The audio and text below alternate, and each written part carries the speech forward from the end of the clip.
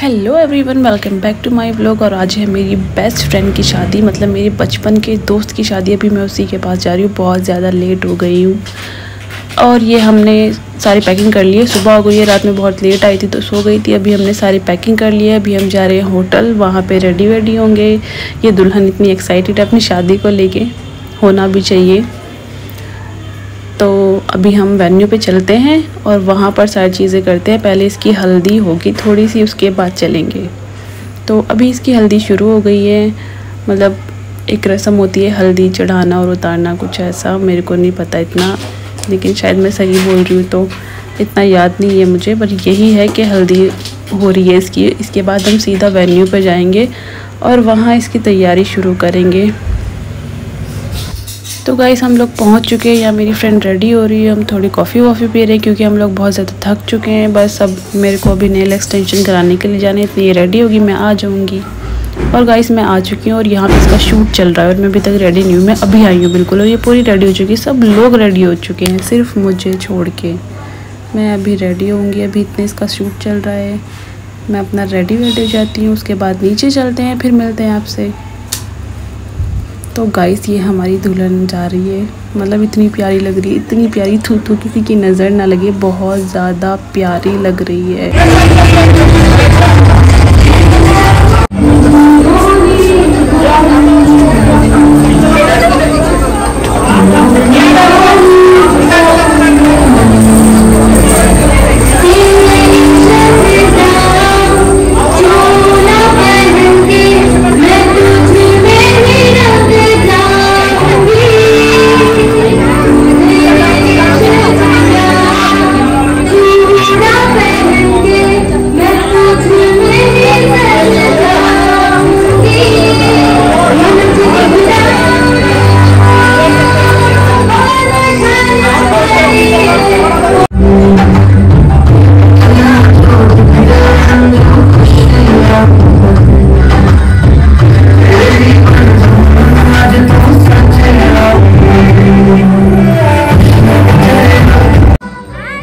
तो गाइस ये हम सब लोग इसके सबसे ज़्यादा पुराने दोस्त और मेरी तो वो सबसे ज़्यादा पुरानी दोस्त है ही। हम सब लोग नीचे पहुँच चुके हैं। अभी उसकी एंट्री हो रही है अंदर। और ये हमारी ब्राइड ये तो इतनी प्यारी लग रही है, इससे नज़र ही नहीं हट रही। है मैं हूँ। मैंने बहुत सिंपल लुक की है क्योंकि मेरे पास इतना टाइम ही नहीं मिला मुझे रेडी होने के लिए। ये है दूसरी फ्रेंड ये तीसरी फ्रेंड और ये है। तो चलते हैं अब इसके साथ में। रोना भी आ रहा था, लेकिन बहुत ज़्यादा कंट्रोल कर रही हूँ, क्योंकि ऐसा ना हो मुझे देख के वो खुद ही रोने लग जाए। बहुत ज़्यादा कंट्रोल किया क्योंकि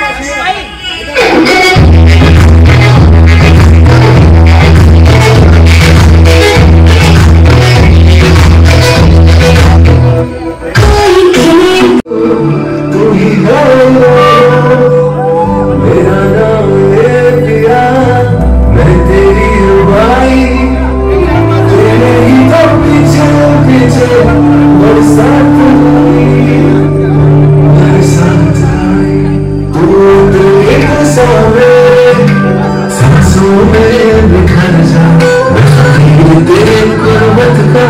तुझसे तो मांगू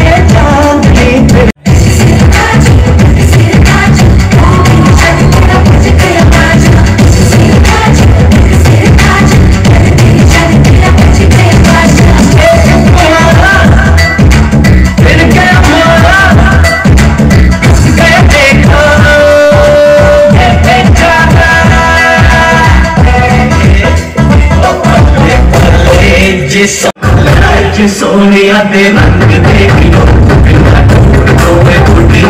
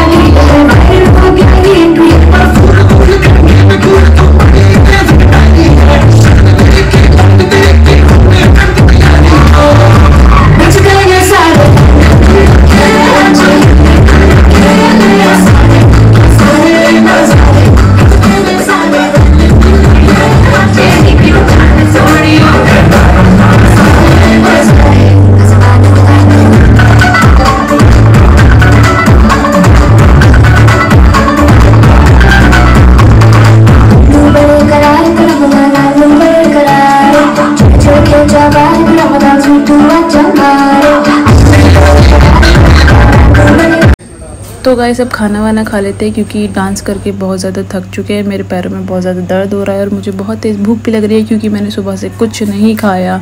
सुबह से बस मैं ऐसे ही लगी हुई हूँ। पहले मैं अपनी फ्रेंड के साथ वेन्यू पे गई, वो बेचारी रेडी हो रही थी। उसके बाद मैं अपने नेल्स कराने के लिए गई, वो भी मुझे आज ही याद आए। पहले से मुझे याद ही नहीं आए।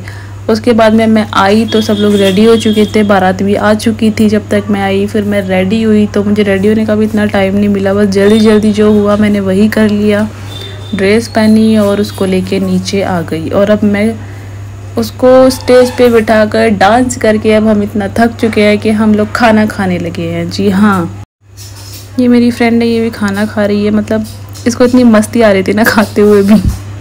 और ये सीरियस मोड में थी, बहुत ज़्यादा सीरियस मोड में, क्योंकि मुझे खाने तो उसके बाद खाना वाना खा के हमने थोड़ा सा मुझे तो पिया। एक मेरा और एक मेरे फ्रेंड का, मैं उसके दे रही हूँ, ये लोग पियो पियो मोजी तो। फिर मैंने पिया जी अच्छा था टेस्टी था अच्छा लगा मुझे, मेरा मन था एक और पीने का, लेकिन नहीं, ज़्यादा पीकर बार बार मैं वॉशरूम नहीं जा सकती तो इसलिए मैंने कम ही पिया। टेस्टी था, लेकिन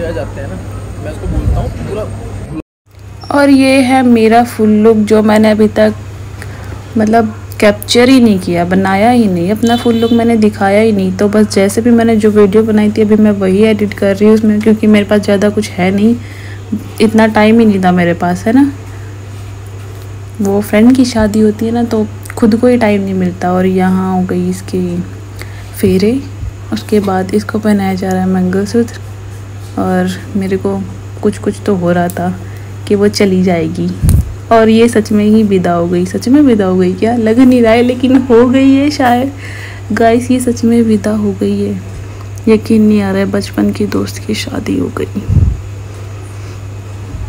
तो जी गाइस वो चली गई है। अभी हम भी चेंज वेंज कर लेते हैं और अपने घर चलते हैं।